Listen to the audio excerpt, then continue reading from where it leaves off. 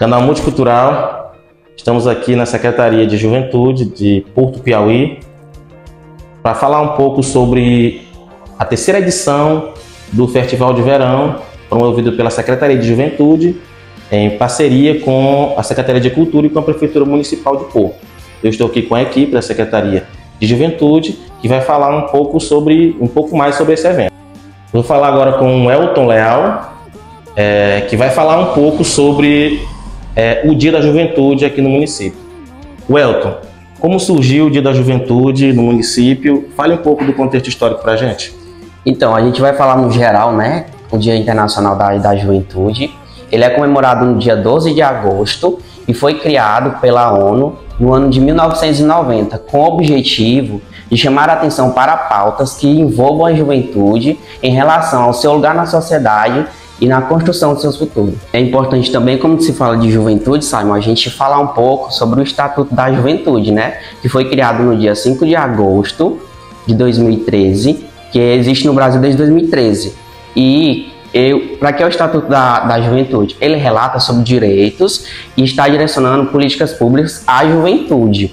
Então é muito importante que a gente saiba também de, desse fato. Segundo o IBGE, segundo o IBGE, essa faixa etária no nosso país é de 23%, ou seja, 47 milhões de jovens brasileiros. Vou falar agora com o professor Gilson, que é um colaborador da Secretaria de Juventude, que vai falar um pouco sobre como o evento está sendo organizado, um pouco da logística do evento. É, bom dia, meu amigo Simon. Agradecer você por a oportunidade de estar abrindo o seu canal para a gente levar a divulgação do evento que será realizado agora é, em, em comemoração à Semana da Juventude. Nós temos um evento que já estamos na terceira edição, que é o nosso Festival de Verão. E no Festival de Verão nós incluímos também o passeio ciclístico, que vai ser realizado hoje, sábado 19, a partir da 19 de agosto, a partir de 16 horas, lá a gente vai sair da Praça dos, dos Bois.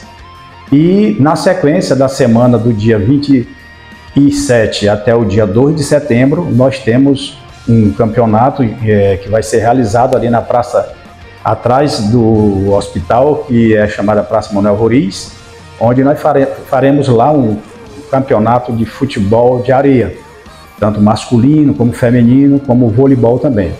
E também, juntamente com a Secretaria de, de Cultura, nós fazemos essa parceria forte, é, Cultura e Juventude. A gente vai também fazer a escolha da garota e do garoto é, Festival de Verão, garoto e garoto verão. Então a gente convida toda a população, todos os desportistas, todas as belas garotas e belos garotos para participarem né, desse grandioso evento que será realizado é, em comemoração à Semana da Juventude. A Secretaria de Juventude, durante o ano, promove alguns eventos aqui na cidade de Porto. E nosso colaborador vai falar um pouco sobre esses projetos. Saiba, a gente, todo início do ano, toda a equipe Juventude e Cultura, a gente senta e faz o planejamento de todos os eventos a ser realizados no decorrer do ano. É, nós, no início do ano, nós, juntamente com a cultura, nós realizamos o Carnaval, né? Porto Folia, aqui na cidade de Porto.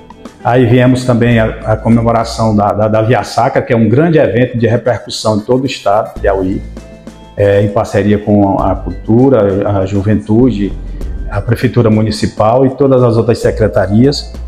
Nós temos também um projeto que nós realizamos todo mês de setembro. Esse, esse ano vai ser o segundo projeto, que é o projeto Caça, Caça Talentos, que nós temos o show de calouros.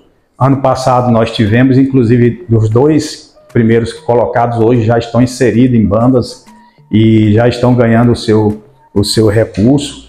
Nós temos também um projeto voltado para a parte da educação. É, a juventude e a cultura faz um trabalho realizado na educação também. A gente tem projeto para ser instituído agora, que é o projeto Soletrano. Vamos sentar com, com a Secretaria de Educação, juntamente com os coordenadores da língua portuguesa. Nós temos também um projeto musical. Esse projeto é, já sentei já com o prefeito, sentei com a secretária é, de educação e a gente vai inserir nas escolas, vamos começar, vamos criar uma pequena escola musical para a gente começar a levar nosso, nossos jovens a, a prática também da música, do, do, dos instrumentos musicais para compor a banda municipal 25 de junho.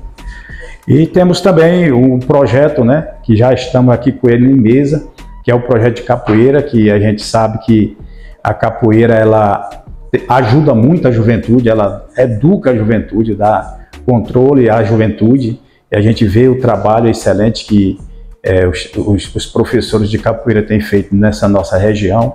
Então a gente tem esse projeto para a gente inserir também nas escolas.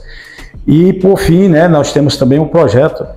No final do ano sempre a gente faz aquele projeto belíssimo que é da decoração natalina.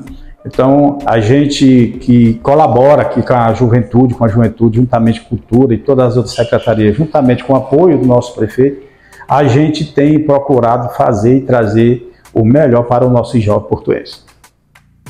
Colaborador, só agradeço pela sua participação, equipe, né, pela participação aqui no nosso canal. Muito obrigado.